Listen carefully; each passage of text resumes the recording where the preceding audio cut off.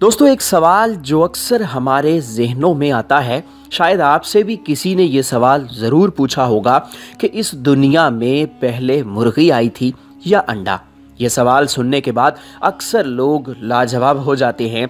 और दोस्तों, इस वीडियो में इसी सवाल का जवाब आपको बताने वाले हैं कि पहले मुर्गी आई थी या अंडा।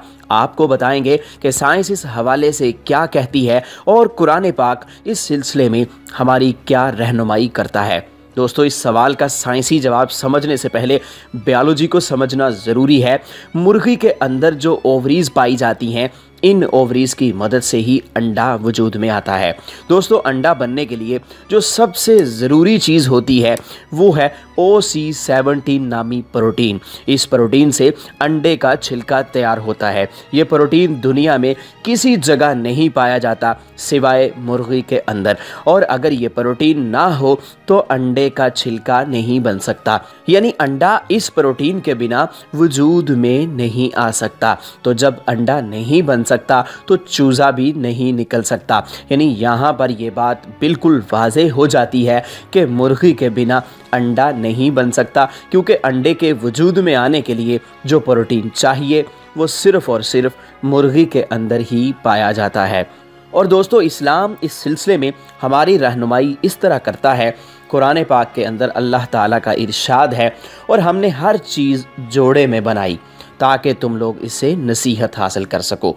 सूरह ज़ारियात, आयत नंबर उनचास। एक और जगह पर अल्लाह ताला का इरशाद है, पाक है वो ज़ात जिसने सब जोड़े बनाए ज़मीन की उगाई हुई चीज़ों से और लोगों से और उन चीज़ों से जिन्हें वो भी नहीं जानते। सूरा यासीन, आयत नंबर 36 यानी अल्लाह ताला ने जितनी भी मखलूक़ात पैदा फरमाई हैं, चरिंद, परिंद, जन्नात, इंसान, उन सब के जोड़े पैदा फरमाए हैं, जिनसे उनकी नस्लें आगे बढ़ी हैं।